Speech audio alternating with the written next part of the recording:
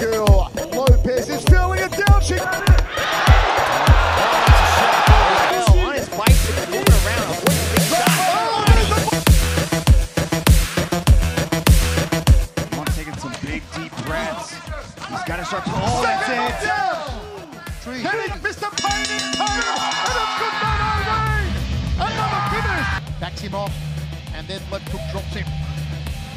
Uppercut elbow from Supergirl. Lopez is feeling it down. She goes again. to the ground. Look at that. She wasn't even in the proper positioning. She wasn't even. Front kick there from Mahmoudi. Look for the elbow. Nicely done there.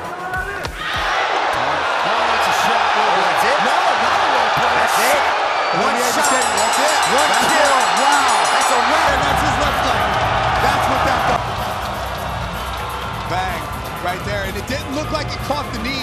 I was thinking that maybe as they started icing it up here that he had twisted. Drutic utilizing the circle very well on his bicycle, moving around, avoiding the big shots. Oh, there's the body shot. Down goes Contrate. He's not going to make it up. It's good night, Irene. Like origami. Perfectly placed. Digs there.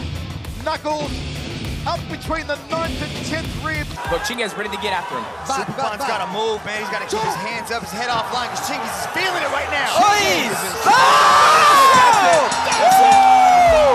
And another look. He got two knockdowns, and then he smelled blood in the water, got after it, knocked him out, and that was it